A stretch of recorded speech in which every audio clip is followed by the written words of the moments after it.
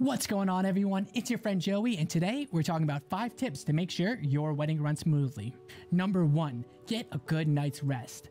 This is probably easier said than done. It is no secret that the night before your wedding, you'll be filled with nerves, anxiety, and stress, but this is something you can anticipate for.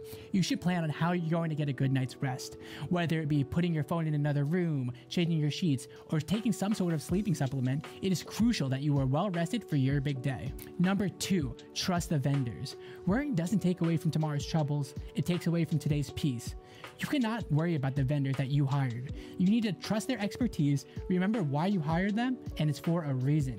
Whether it be a photographer, the floral, the venue staff, you need to trust that everyone is going to do their job. This is why I stress that you need to do the due diligence when hiring wedding vendors. Number three, have a point person. Whether it be a wedding planner, a maid of honor, a relative, you need to have someone that is your go to.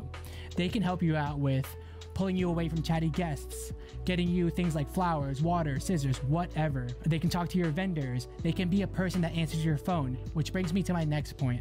Turn off your phone. For the love of God, turn off your phone. Your phone will be blowing up throughout the day from social media tags, congratulations texts, a relative asking for directions. You do not need to take the time out of your day to answer anything. This is your day and you should enjoy it to its full potential. Be present in the moment and really enjoy the celebration between you and your partner. And my last point, allocate buffer time. You should always allocate more time than expected.